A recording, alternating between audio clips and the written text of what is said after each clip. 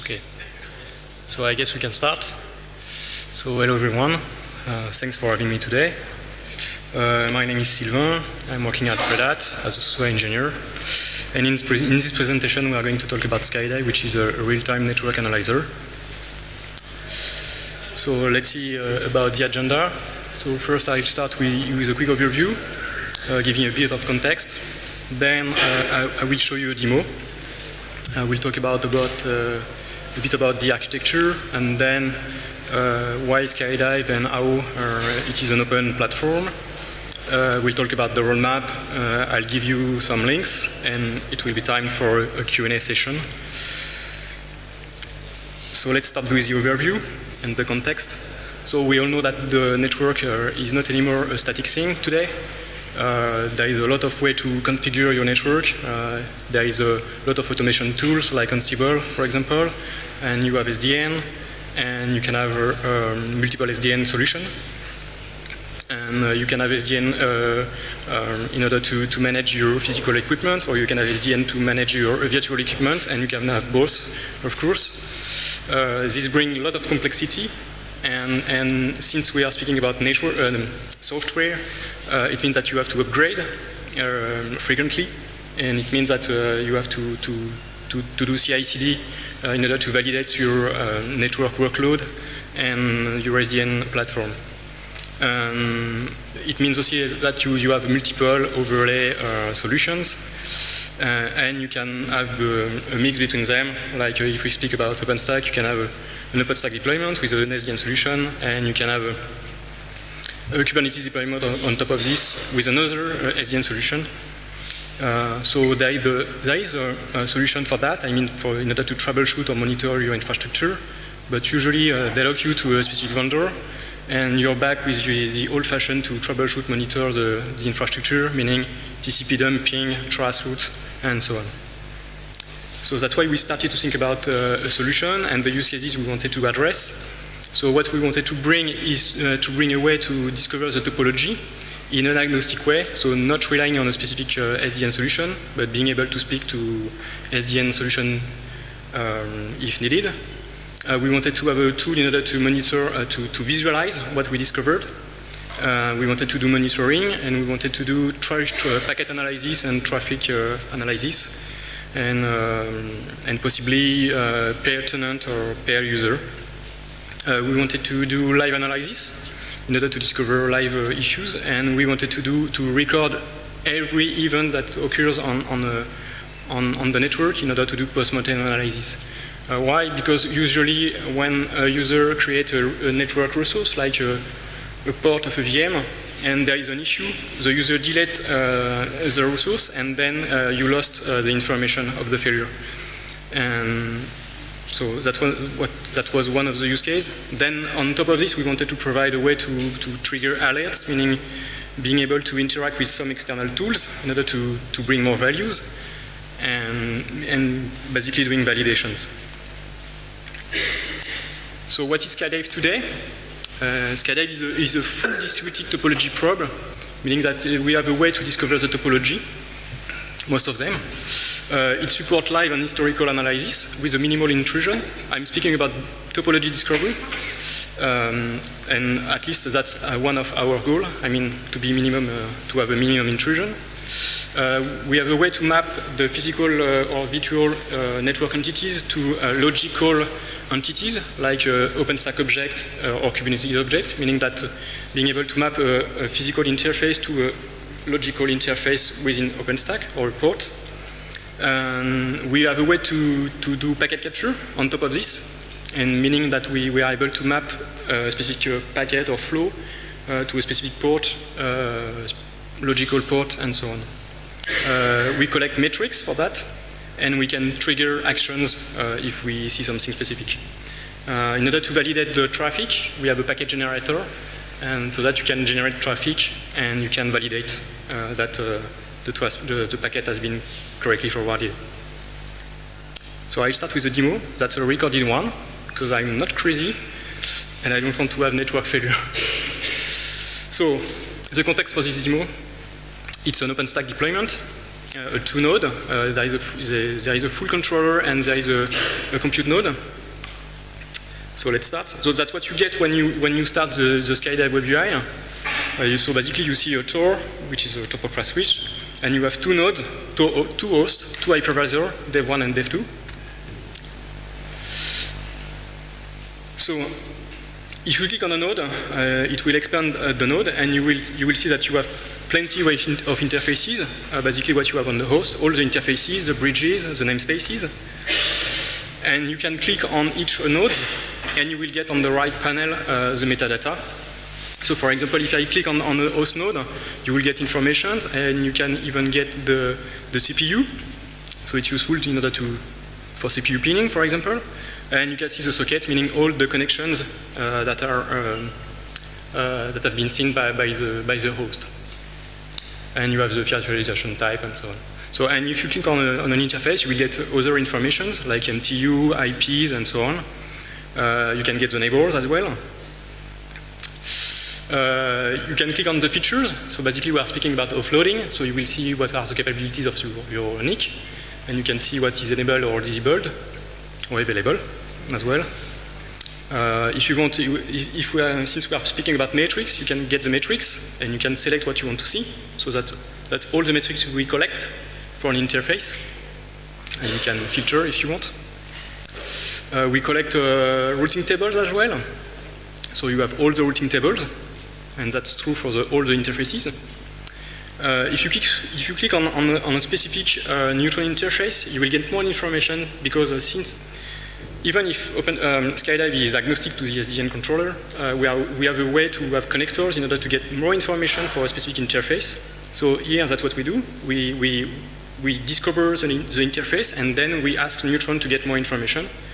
So if you see on the right panel, we have more information. We have the VM ID, and we have a specific uh, Neutron section with the IP reported by Neutron and the network ID and tenant ID so that's how we do the mapping between physical interface and uh, virtual interface, logical interface. And since this is a um, sorry, since this is a, an OVS managed uh, interface, we have more metrics uh, from OVS. So can, you can expand everything, you will get more and more information. Uh, so this, this view is a bit complex, but we have a way to filter in order to see only few parts of the infrastructure. So so it, it is using internally a specific language, which is a Gremlin language, which is a graph, a well-known graph traversal language. But uh, you can set a specific uh, filtering uh, using the configuration file. So if you want to provide predefined filter in order to see some specific uh, information, you can define it in, using the config file, or the user can do this, writing uh, their own uh, filtering thing using the preference panel. So here, we are only uh, we are going to see only the namespaces. So we have two namespaces for the day one node. Uh, a, you can do another filter like uh, I want to see only uh, interface having the up state. So here, if I expand, I will get the full view, but without the, the interface that are down.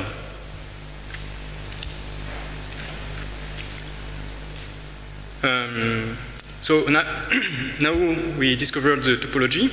We may want to do a bit of troubleshooting.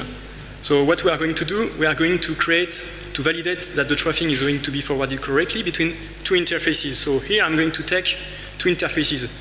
The one which is within the ne network namespace of the DHCP uh, namespace, and the other one will be the tap of the VM, just uh, close to, close to the, the tap of the DHCP.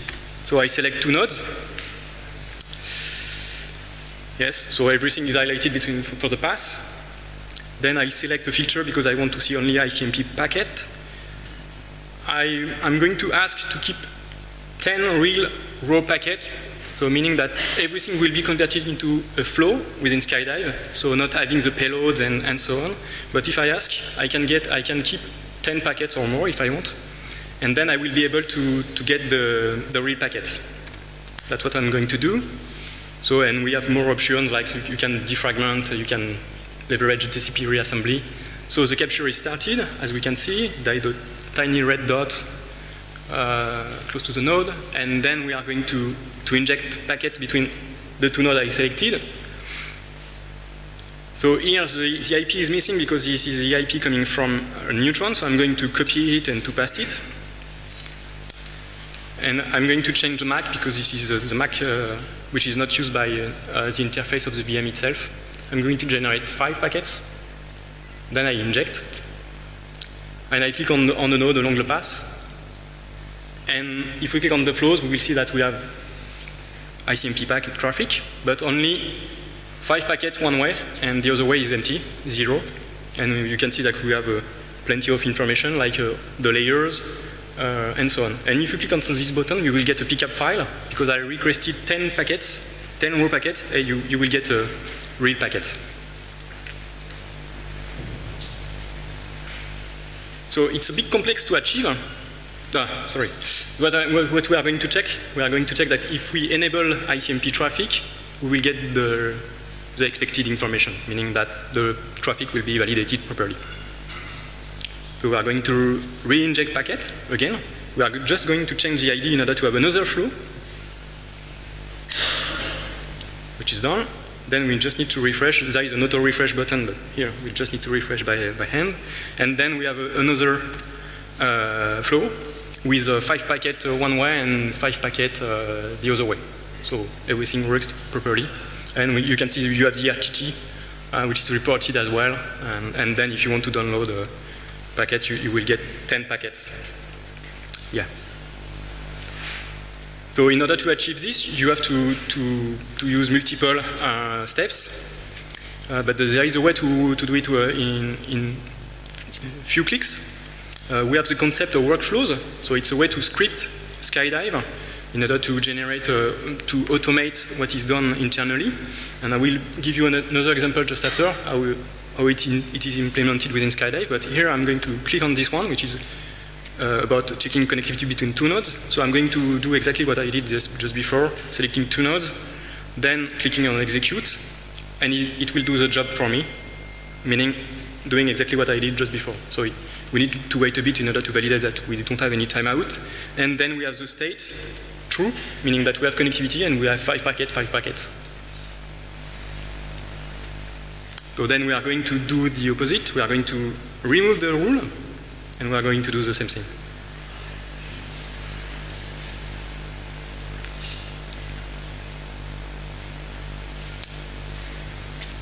Done. So now the state is false, and we can see that we, well, five packets one way and zero after.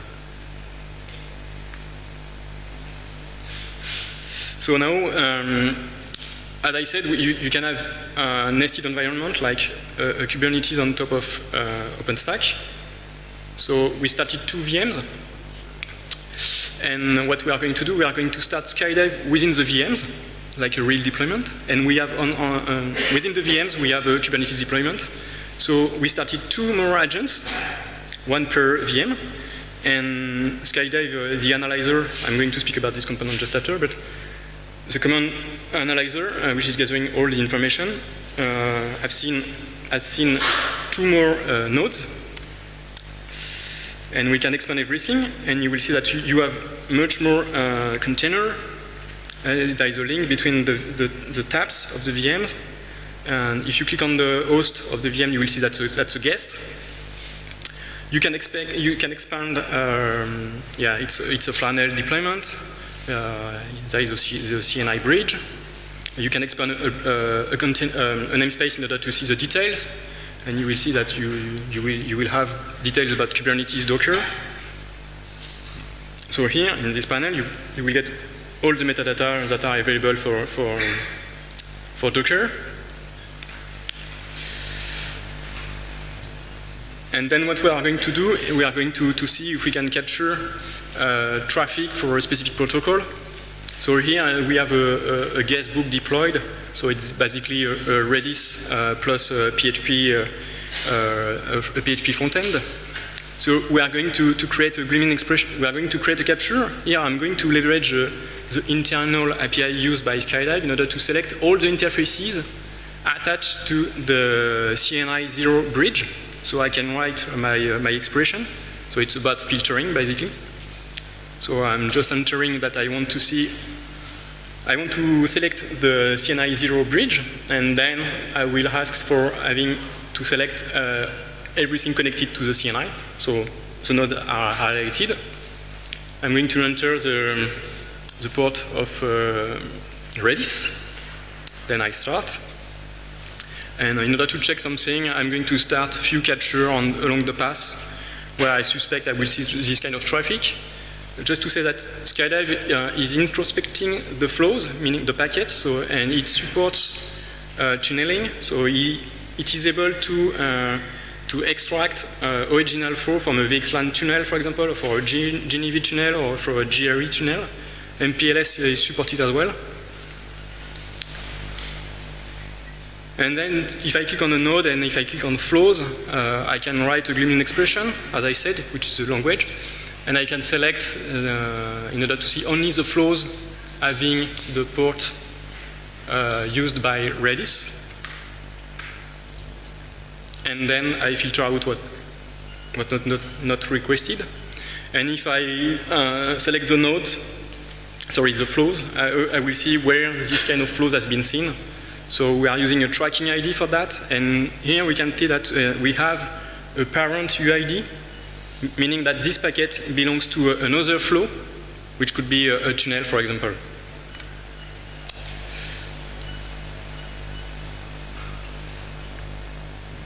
So that was for the demo. It was an overview. Uh, just to mention that everything you saw in, the, in this demo uh, is available uh, through the command line. So you can do everything uh, within the command line or the API. So let, let, let's see a bit about uh, Skydive itself, I mean a bit deeper. So what is Skydive? Finally, Skydive is a single uh, binary. So you download the binary and you're ready to go, but internally you have at least two kind of components. One is the analyzer, which gathers everything about the infrastructure uh, reported by the agents. And the agents uh, where the probes, uh, topology probes and flow probes are started. Of course, we have a web UI, and uh, if you want to create alerts in order to get uh, triggered by something, uh, there is the, the, alerting engine which is running on on the analyzer side. we do support clustering, so you, there is a replication mechanism between two analyzers and so on. Uh, there is an etcd in order to maintain the configuration. And in order, in, you can run Skydive without having a data store, but if you want to do post-mortem analysis or historical analysis, uh, you may want to deploy a data store. Uh, so basically that's an, an, Elasticsearch, even if we support another data store, but Elasticsearch is used usually. So speaking about the probes uh, themselves, so we do support multiple probes. So we have two kind of probes, as I said, topology and flows. So for the topology, uh, there is a a lot of things uh, done by the Netlink uh, protocol or mechanism. Uh, we do support OVSDB and OpenFlow. so meaning that something that was not shown during the demo, but you can introspect the flow rules within a, a flow bridge, and you can yeah, navigate uh, along the tables and the flows, flow rules. Uh, we do support LLDP, we have a connector for Neutron, OpenContrail, and so on. Uh, socket information is another one. We, we saw it during the demo, but I'm going to explain how to leverage it just after. And for flows, we do, support, we do have multiple ways to capture flows. Uh, an interesting one is eBPF, which is a lightweight solution running within the kernel. Uh, and, and, if you want to monitor, uh, DPK1, DPK1 is also interesting because usually what, we, what, what, you want to do, you want to, to start a dedicated uh, Skydive agent in order to monitor traffic uh, huge amount of traffic. So you start a, an agent with a DPDK probe, and then you redirect your um, uh, top of rack switch traffic to, to, to the agent in order to get the traffic and the mapping. So why Skydive is an open platform? Um, I'll give you some example for that. So internally, what is Skydive? Um, so it's a, it's a graph engine within Skydive, which is fully distributed. It supports live and history requests. And basically, for an agent, uh, an agent is, is a bunch of probe publishing to the graph engine. And then you can subscribe to the graph in order to get triggered about information. And that's what it, it is done internally within Skydive. So, so basically, we have agent publishing information, and we have analyzer subscribing to the, to the publication. And of course, uh, since this is open, you can do the same thing. So you, meaning that you can subscribe to the graph to get informed uh, for some information or event. Uh, we do have a Python library. Uh, recently, we, we published a, a, JavaScript one, which is pretty useful if you want to provide your own web UI or, or something like this, or dashboard. Uh, we do have an Ansible module library. Uh, so if you want to leverage it, and I will show you that just after, uh, to publish to Skydive, that's possible. Skydive workflows, as I, as I explained just before during the demo. And we do have a Grafana data source plugin if you want to, to graph something. So let's take an example with the Ansible uh, uh, thing. So here it's just an example uh, in order to, to show that you can put whatever you want within Skydive. It's not necessarily based on network uh, thing, but it could be something else. Here I take an example. Uh, thanks to uh, Ansible, I'm going to retrieve the information of the VMs, meaning from Nova, and I'm going to put this within Skydive uh, with a link between the, the, the host and the node I'm going to create for that. So that's about it. So the first part is about gathering facts, then generating the node where I'm going to publish uh, the metadata coming from Nova, and finally making a link between, uh, between the, the, two nodes. And running that, that's what you get. You get, so the node one the, is the host, and then since this is a VM, you can attach uh, the, the node I just created. So it's a, a QB1 VM. And on the right panel, uh, in the server section, you will see all the metadata that are coming from um, Ansible. So if you want to put uh, Ceph information, uh, fabric information, whatever you want, uh, if you want to leverage Ansible network in order to, to, to put uh, uh, fabric information uh, into Skydive, that's definitely a solution. So another example of what you can do with the, with the API, we built a tiny script which is building another kind of topology so it's not anymore about network entities, but it's more about application. And what we do, we interact with Skydive in order to retrieve socket information and connection information in order to do a map between application and the network used. So we are using processes, TCP, uh, session, and UDP connection, and we are leveraging live and history. And then that's what we get. So it's a huge picture, but basically uh, the errand boxes are processes and then you have links uh, between them in order to, to show uh, what, are, what kind of connectivity you have. And basically that I started this on, on the deployment, uh, on the demo de deployment. And, and uh, here, the, the left one, middle one, uh, is RabbitMQ. So we can see that everything is connected to a RabbitMQ. And on the very bottom, uh, yeah, on the top left, right, sorry, that's Kubernetes. And that's a bit weird, but you can re-inject what you extracted from Skydive within Skydive, and it will give you another topology. So here it's just an extract, but you will have an application topology, meaning who is speaking with, which application is speaking with, with which application. Uh, so what is a workflow? What I, what I use during the demo. So basically workflow is, a, uh, it leverages uh, the API, the JavaScript API so uh, the, the whole Skydive API is exposed uh, in JavaScript. And the goal of this is to be able to write validation script for troubleshooting session or doing auto automate something. You can run it through the CLI. So if you have a CI system and you want to validate something automatically, you can do this. And you can use it to, from the web UI as I did just before. So uh, this is how it looks like. So it's a, a, JavaScript embedded within, within a YAML file. So it's, uh, the YAML part is about uh, describing parameters, so inputs. So here it's uh, two nodes, meaning two interfaces. That, that's the one I used during the demo, so the connectivity uh, thing. And it, then we can see that it creates captures, it, it creates packet injection, and so on. And, and the interfaces on, on the left, on the web UI, is generated automatically from uh, the workflow. So you, you can definitely write your own, and yeah. And that's a view of the uh, of the the Grafana plugin. So basically, you can you can use exactly the same language everywhere. Here, it's using the Gremlin language as well. Uh, and as I said, you can see what, what, what are within the flows, within the packet, within the tunnels. Uh, you, you, can have the context of a flow of a traffic, like the tenant or something like this. So you can build uh, your own dashboard.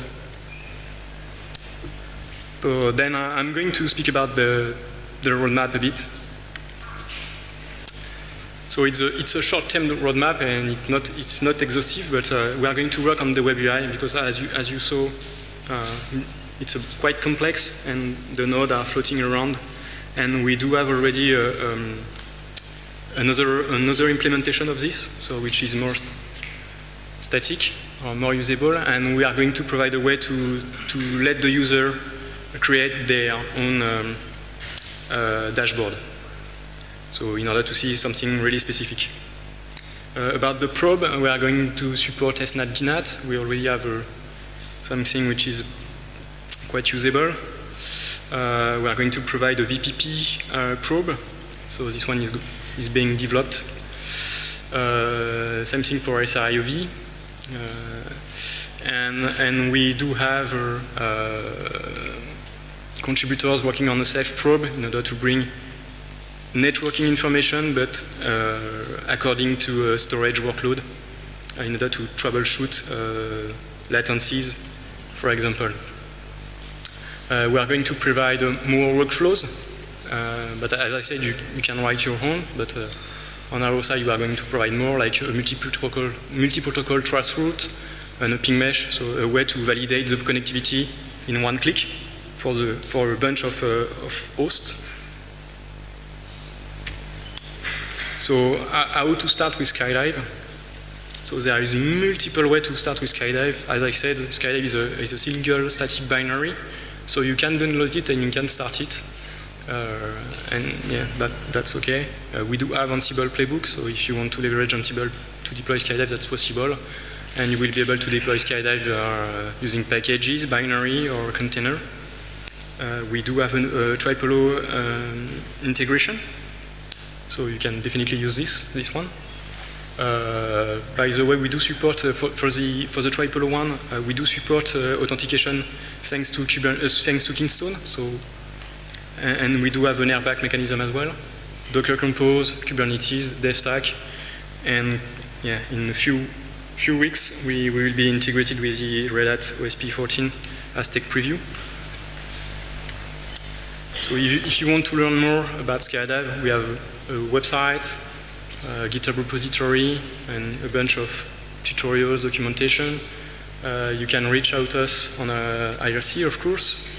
Uh, and of course, contributions are more than welcome. It can be use cases, code, whatever. And I think that's it.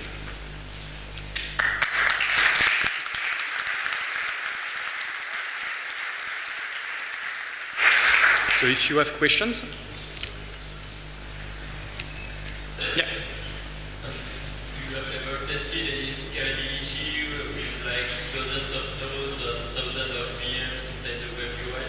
No, not the web UI. Uh, we, we know that it doesn't scale. So for the web UI, you, you, that's why we are going to work on another one, uh, which is already ready, but we need to, to test it. But if uh, we started to work, we, we did a deployment with almost uh, 200 nodes host with uh, 10,000 of containers. So Skydive is working properly, but the, the web UI is not usable, of course. But you can do packet capture, you can do workflow validation, you can basically do a lot of things, but not the web UI. Or there is another solution, eh, which is uh, the web UI is, is, available per host. So that's one way to, to get rid of the issue with a global view. So, you, so you can, yeah. But definitely that's something we are going to fix quite soon. Yeah. If you know that there is a full, packet capture for. Yeah.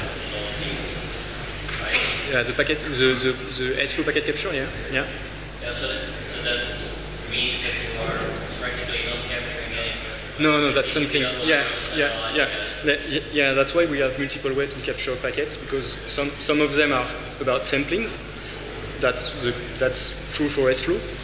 But uh, some other are about uh, capturing everything. So we do have port mirroring, which is not uh, specified here, but uh, for OVS, you have two ways of capturing it. You can use SFlow or you can use packet capture, uh, port mirroring, if you want.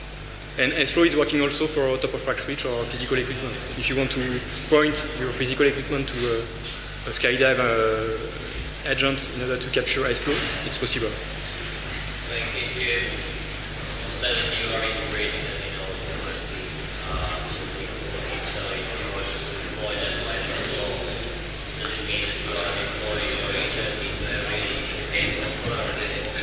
Yeah, each compute and each controller. Yeah.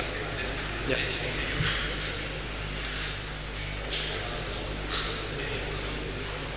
No more questions?